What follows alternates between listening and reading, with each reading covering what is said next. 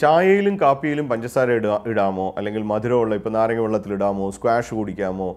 പിന്നെ പെപ്സിയും കോളയും ഒക്കെ കുടിക്കാമോ? ഒറ്റ വാക്കിൽ ഉത്തരം പറഞ്ഞാൽ പാടില്ല. പ്രമേഹം ഇല്ലാത്തവരോ ഒട്ടും പാടില്ല. കാരണം നാം മനസ്സിലാക്കേണ്ടത് മധുരത്തിന് രണ്ട് പ്രശ്നങ്ങളാണുള്ളത്. ഒന്ന് മധുരം അമിതമായി ഊർജം നൽകുന്നു. ഈ ഊർജം വളരെ പെട്ടെന്ന് ശരീരത്തിലേക്ക് കയറുന്നു. അപ്പോൾ അത് മെല്ലെയല്ല ക്രമേണയല്ല അപ്പോൾ അതുകൊണ്ട് പെട്ടെന്ന് ശരീരത്തിലേക്ക് ഷുഗർ കയറുന്നത് ഒരുപാട് തരത്തിലുള്ള പ്രശ്നങ്ങൾ ഉണ്ടാക്കുന്നുണ്ട്.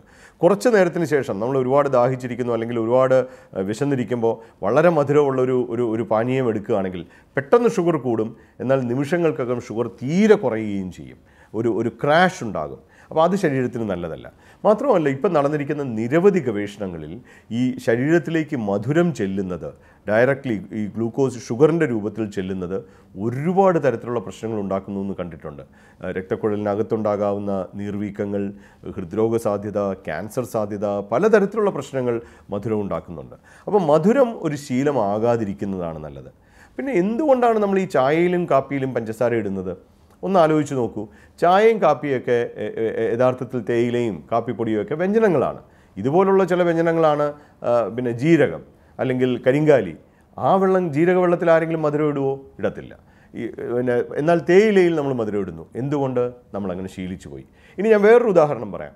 ഈ കേരളത്തിലൊക്കെ എല്ലാവരും പ്രത്യേകിച്ച് നാട്ടിൻപുറത്തങ്ങളിൽ നാട്ടിൻപുറത്ത് നമ്മൾ തൈരിലോ അല്ലെങ്കിൽ മോരിലോ വെള്ളം ചേർത്ത് ഉപ്പും പിന്നെ ശകലം പിന്നെ ഇതെല്ലാം എന്താണ് പിന്നെ മുളകും ഒക്കെ ഇട്ടിട്ട് നമ്മൾ സംഭാരമാക്കി കുടിക്കും. നമ്മൾ ആരെങ്കിലും പഞ്ചസാര ഇട്ട് നാട്ടിൻപുറത്ത് തൈര് കുടിക്കാറുണ്ടോ അല്ലെങ്കിൽ മോര് കുടിക്കാറുണ്ടോ? ഇല്ല. നമുക്ക് അത് ഓർക്കാൻ തന്നെ ബുദ്ധിമുട്ടാണ്. എന്നാൽ ഉത്തരേന്ത്യയിലോ ഉത്തരേന്ത്യയിൽ ലസ്സിയാണ് അവരുടെ ഏറ്റവും പ്രധാനപ്പെട്ട അല്ലെങ്കിൽ ഏറ്റവും അവർ ഇഷ്ടപ്പെടുന്നത്. കാരണം എന്താണ്? തൈരിലും മോരിലും പഞ്ചസാര ഇട്ടാണ് അവർ കുടിക്കുന്നത്. അപ്പോൾ ഇതെല്ലാം നമ്മുടെ ശീലമാണ്. നാം ശീലിച്ചു പോയി. ഈ ശീലം ഇപ്പോൾ ശീലമുള്ളവർ കഴിയുന്നതും അത് ഒഴിവാക്കാൻ ശ്രമിക്കുക.